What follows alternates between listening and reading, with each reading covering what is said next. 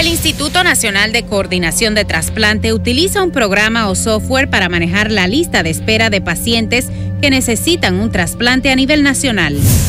Bajan los datos de ese donante con eh, grupo sanguíneo, histocompatibilidad, todo, todo, todo, edad, comparación de las edades que necesita, y ese machea, ese programa machea y pone una lista de los primeros 5 o 10 que son los que tienen mayor número. Eso nos permite ser más justos, más equitativos.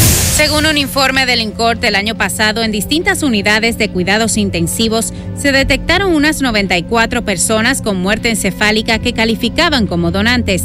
Sin embargo, de estos fallecidos, solo 17 fueron donantes reales. En el 31.2% de los casos, la negativa familiar impidió que ocurriera la donación. Por las barreras que se presentan a la hora de desarrollar un protocolo eh, para poder obtener la donación de esos órganos, que comienza con eh, el acercamiento a la familia, para que como acto de amor se da esos órganos. En ese momento, cuando clínicamente hace el diagnóstico de muerte cerebral o muerte encefálica, le hace una serie de estudios y análisis para confirmar esa muerte.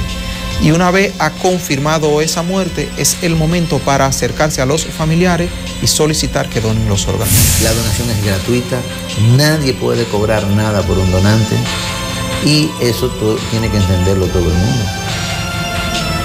Y cuando una persona dona o una familia, a lo único que estamos autorizados es a mejorarle las condiciones de, enterramiento. Como nosotros se lo dilatamos un poco con la extracción, ayudamos un poco a que se pague la ambulancia, se paguen, se le ayuden a dar servicios de este tipo. Pero esto bajo ningún concepto puede verse como pago, sino como una ayuda a una familia destrozada. Especialistas recuerdan que al donar sus órganos, una persona fallecida puede salvar la vida de ocho pacientes afectados por una enfermedad crónica. Corazón, los pulmones, los riñones, el páncreas, el hígado e intestino.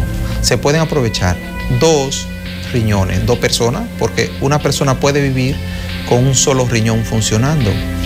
Dos personas pueden vivir si se le pone la mitad de un pulmón. Cuando una persona enferma con una patología que le afecta un órgano vital, esa persona quiebra a ella, quiebra a su familia y todo lo que le rodea se afectan de una forma u otra. Sin embargo, hasta el momento en el país solo se realizan trasplantes de riñones, hígado y corazón. Todavía no se han podido hacer trasplantes de páncreas ni de pulmones, que también pueden salvar vidas.